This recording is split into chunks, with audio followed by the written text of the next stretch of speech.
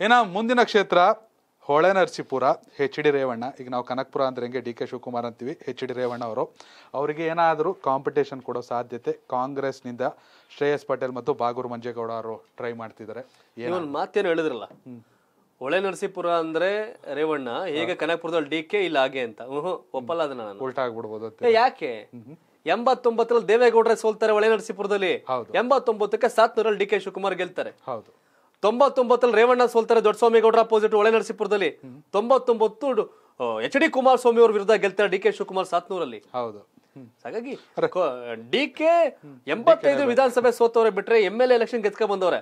But ಲೋಕಸಭೆ ದೇವೇಗೌಡರ opposite ಸೋತವ್ರೆ ಇವೆಲ್ಲ ಆಗಿದೆ ಅದ್ ಬಿಡಿ ಆದ್ರೆ ವಿಧಾನಸಭೆ ಚುನಾವಣೆ ಎಂಬತ್ತೊಂಬತ್ತರಿಂದ ನಿರಂತರವಾಗಿ ಗೆದ್ದವ್ರೆ. ಆದ್ರೆ ದೇವೇಗೌಡರು ಪುಟ್ಸ್ವಾಮಿಗೌಡರ ಅಪೋಸಿಟ್ ಒಳೆ ನರಸೀಪುರದಲ್ಲಿ ಎಂಬತ್ತೊಂಬತ್ತರಲ್ಲಿ ಸೋತಿದ್ರು. ಹೌದು. ತೊಂಬತ್ತೊಂಬತ್ತರಲ್ಲಿ ದೊಡ್ಡ ಸ್ವಾಮಿಗೌಡರ ಅಪೋಸಿಟ್ ರೇವಣ್ಣ ಸೋತಿದ್ರು. ಹಾಗಾಗಿ ಡಿ ಕೆ ಶಿವಕುಮಾರ್ಗೂ ರೇವಣ್ಣ ಅವ್ರಿಗೂ ಕಂಪೇರ್ ಮಾಡಂಗಿಲ್ಲ. ಡಿ ಕೆ ಬೇರೆ ಟೈಪ್ ರೇವಣ್ಣ ಬೇರೆ ಟೈಪ್ ರೇವಣ್ಣ ಸೋಲಿನ ಒಂದೊಂದು ಕಾಲಘಟ್ಟದಲ್ಲಿ ಸೋಲಿನ ರುಚಿಯನ್ನು ಅನುಭವಿಸವ್ರೆ. ಡಿ ಕೆ ಶಿವಕುಮಾರ್ ಆತರ ಏನಿಲ್ಲ. ಡಿ ಕೆ ಶಿವಕುಮಾರ್ ಎಂಬತ್ತ ಒಂಬತ್ತರಿಂದ ನಿರಂತರ ಎಂ ಎಲ್ ಎ. ನಿತ್ಯ ನಿರಂತರ ಎಂ ಎಲ್ ಎ. ಸೊ ಹಂಗೆ. ಇಲ್ಲಿಗ ಒಳೆ ನರಸೀಪುರಕ್ಕೆ ಬರ್ನ ಒಳೆ ನರಸೀಪುರದಲ್ಲಿ ಶ್ರೇಯಸ್ ಪಟೇಲ್ ಅಥವಾ ಬಾಗೂರು ಮಂಜೇಗೌಡರು ವೈಫು ಬಾಗೂರು ಮಂಜೇಗೌಡರು ಅಂತಿದ್ರೆ ಬಟ್ ಶ್ರೇಯಸ್ ಪಟೇಲ್ ಕೊಡ್ಬೋದು ಅಂತ ಲೆಕ್ಕಾಚಾರ ಕೂಡ ಇದೆ. And H D Revanna. Aluru ಗುಳ್ದವರೇ ಗೌಡ್ರು. ಹೌದು. ಕರೆಕ್ಟ್ ಆಗ್ತದ ಪುಟ್ಸ್ವಾಮಿ ಗೌಡರು ಟೈಪ್ ರಾಜಕಾರಣಿ ದೊಡ್ಡಸ್ವಾಮಿ ಗೌಡ್ರ ಟೈಪ್ ರಾಜಕಾರಣಿಗಳು ಈಗ ಅಲ್ಲಿಲ್ಲ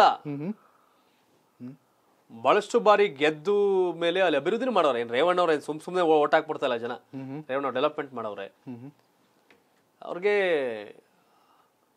ನಿಮ್ಗೆ ಹಾಸನ ಅಂತಂದ್ರೆ ಅವ್ರಿಗೆ ಒಳೆ ನರಸೀಪುರನೇ ಜಿಲ್ಲೆ ಅವ್ರಿಗೆ. ಒಳೆ ನರಸೀಪುರನೇ ರಾಜಧಾನಿ ಹೌದು. ರೇವಣ್ಣ ಅವ್ರಿಗೆ. ಒಳೆ ನರಸೀಪುರನ ಆ ಮಟ್ಟಿಗೆ ಡೆವಲಪ್ ಮಾಡಿದ್ದಾರೆ ಮಾಡಿ ಮಾಡಿದ್ದಾರೆ. ಪಾಪ ಮೊನ್ನೆ- ಆ ಕೆ ಆರ್ ಎಸ್ ಪಾರ್ಟಿ ಅವ್ರಿಗೆ ಹಿಡ್ಕೊಂಡು ಒಡೆದು ಒಂದು ಸಂಗಮ ಮಾಡಿದ್ರು ಅವರು. ಅವ್ರ ಕಡೆ ಹೌದು ಹೌದು. ಹಂಗೆ ಸಾತ್ವಿಕ ರಾಜಕಾರಣ ಇಲ್ಲ ಅಷ್ಟೇ. ಹೌದು. ಒಂಥರ ವಿಚಿತ್ರ ಅದು. ಒಳ್ಳೆ ನರಸೀಪುರದಲ್ಲಿ ರೇವಣ್ಣ ಅವರು ಕ್ಲಿಯರ್ ಕಟ್ ಇವತ್ತೇ ಬರೆದಿಟ್ಕೋಬಹುದು ಹಾಸನದಲ್ಲಿ ಟ್ಯಾಲಿ ಹಾಕೊಂಡು ನಮ್ಮ ಟಿವಿ ಅವರು. ಜೆ ಡಿ ಎಸ್ಕೊಂದು ತೋರಿಸ್ಬೋದು.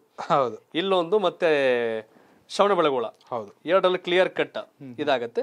ಈ ಎರಡು ಚಮಚ ಹಾಕಿ ಒಂದು ಹಾಲಲ್ಲಿ ಒಂದು ಜಿನಿ ಪೌಡರ್ ಕುಡಿದ್ಬಿಟ್ಟಂತಂದರೆ ನಿಮ್ಮದು ಏನು ರಿಕ್ವೈರ್ಮೆಂಟ್ಸ್ ಇದೆ ಕ್ಯಾಲೋರಿ ರಿಕ್ವೈರ್ಮೆಂಟ್ಸ್ ಅದು ಫುಲ್ ಫಿಲ್ ಆಗಿಬಿಡುತ್ತೆ. ಈ ಸಲ ಆರೋಗ್ಯದ ಬಗ್ಗೆ ನಾವೆಲ್ಲ ಇದು ಮಾಡುವ.